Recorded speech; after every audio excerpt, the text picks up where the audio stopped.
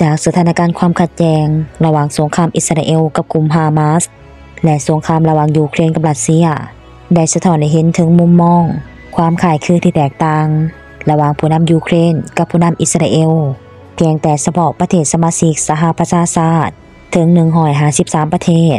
พร้อมใจกันสวนมัดสวนความปรารถนาความต้องการของอเมริกา และอิสราเอล สนับสนุนการหยุดยิงโดยทันที ในสงครามระหว่างอิสราเอลกับฮามาสซึ่งมีเพียงแต่10กว่าประเทศเท่านั้น ที่ได้มีการขัดขานในการหยุดยิง ในสุรานกาซาซึ่งความพยายามของอเมริกาที่ว่าจะนุนสวย พันธมิตรอันศักดิ์สิทธิ์อย่างอิสราเอล โดยที่ว่าบ่สนใจต่อชาวโลก ต่อมนุษย์มานาหรือต่อชีวิตพลเรือน ผู้ที่ว่าบริสุทธิ์กำลังส่งผลให้ประมุขโลก อย่างสหรัฐอเมริกา เหตุทาวาจะพังทลาย ตามอิสราเอลไปนำ โดยเฉพาะต่อพันธมิตรที่ว่าเคียงบาเคียงไหลกันมาดน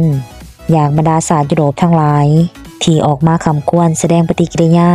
ฝึกทนต่อความโหดเหี้ยมของอิสราเอลเต็มที่ บรรยากาศของความหัวมือเพื่อลุ่มโจมตี กลุ่มกบฏน้อยในเยเมน มันเลยแตกต่างไปจากการลุ่มประเทศน้อยอย่างอัฟกานิสถาน อิรัก หรือลิเบียเลนอื่นเหตุให้บทบาทอำนาจอิทธิพลของอเมริกา ในการที่ว่านำชาวโลกไปสู่สวรรค์ หรือนรกก็ตาม อันจะนำไปสู่การเปลี่ยนแปลงบ่ว่าจะเป็นทางภูมิรัฐศาสตร์ การเมืองเศรษฐกิจ สังคมระดับโลก ภายในอนาคตเบื้องหน้าอย่างบ่สามารถปฏิเสธและหลีกเลี่ยงได้ และอาจจะเป็นสาเหตุนี้เอง ที่ว่าเหตุให้รัฐบาลอิสราเอล ภายใต้การนำของเบนจามิน เนทันยาฮูต้องพยายามหาทางให้มหาอำนาจสูงสุด อย่างอเมริกาเขามาเกี่ยวของพัวพันกับสงครามของอิสราเอล อย่างสนิททอนตัวบ่ขึ้นเขาไปทุกเทือเสื่องบ่เพียงแต่ประกาศเดินหน้าสู่โฮบกับพวกฮามาส และเขียนขาลางเผาผลาญบรรดาชาวปาเลสไตน์ต่อไป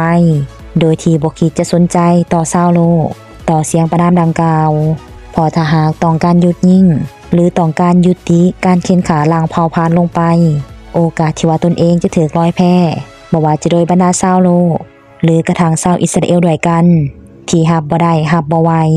บ่เพียงแต่ต่อความกระหายเลือด กระหายสงครามเท่านั้น แต่ยังรวมไปถึงการทุจริตคอร์รัปชันจนต้องหาทางออกทางไปด้วยการที่ว่าบันทอนทำลายอำนาจของฝ่ายตุลาการ สนิทก่อให้เกิดการประท้วงต่อต้าน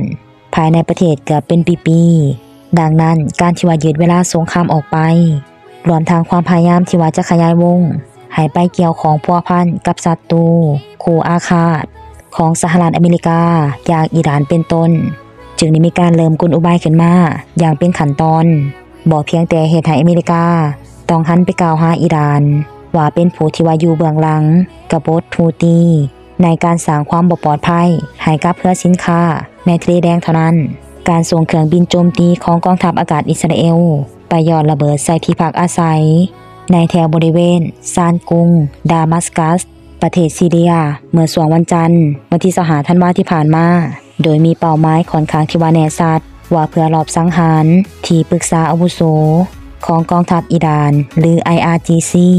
ถึงแม้นวารัฐมนตรีต่างประเทศของอิหร่าน จะประกาศว่าต้องการล้างแค้นและเอาคืนอยู่แล้วซึ่งนั้นเท่ากับส่งผลให้เกิด การเข้าทางของผู้นำอิสราเอล อย่างเนทันยาฮู ที่ว่าต้องการยืดเวลา และขยายวงสงคราม อย่างบ่อาจหลีกเลี่ยง และปฏิเสธ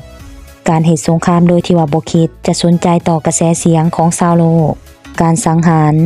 หลังเผาผลาญพลเรือนผู้ที่ว่าบริสุทธิ์เป็นหมื่นๆอาจเป็นตัวนำพาที่ว่าเหตุให้ผู้นำอิสราเอล ไปสู่ยุทธศาสตร์แห่งความพ่ายแพ้และในส่วนของสงคราม ระหว่างยูเครนกับรัสเซีย ความพยายามที่ว่าจะสากลากสงครามให้ยืดเยื้อยาวนานที่สุด เท่าที่ว่าจะเป็นไปได้ หรือความพยายามที่ว่าจะขยายสงครามให้ลุกลามบานไปเพื่อที่ว่าจะหลากตึงมหาอำนาจสูงสุดอย่างอเมริกา ให้ต้องมาพัวพันกับปัญหาของสงครามยูเครนกับรัสเซีย และสงครามอิสราเอลกับฮามาส ความหวังจะดำรงรักษาอำนาจของผู้นำอิสราเอลห้ยืดยื้อยาวนานลายขึ้นไปเท่าไรกับกิ่งกายเป็นการบ่อนทำลาย ระบบเศรษฐกิจสังคมของประเทศอิสราเอลทั้งประเทศ ให้พังพินาศตามไป โดยเห็นไดซัดผู้นำของอิสราเอล เนทันยาฮูซึ่งบ่แตกต่างกับประธานาธิบดีโวโลดิมีร์เซเลนสกี้ผู้นำของยูเครน ตัวตลกตัวแทนลายขึ้นไปทุกเทือ คือตามบคิดที่ว่าจะสนใจ ต่อความอยู่รอดปลอดภัยของประเทศตนเอง หรือประชาชนของตนเองหลวงร้ายเท่าใดหวังเพียงแต่ให้ตนเองยังมีบทบาทมีอำนาจ อยู่ในสถานะตำแหน่งของผู้นำประเทศ อีกต่อไป เพียงเท่านั้นเอง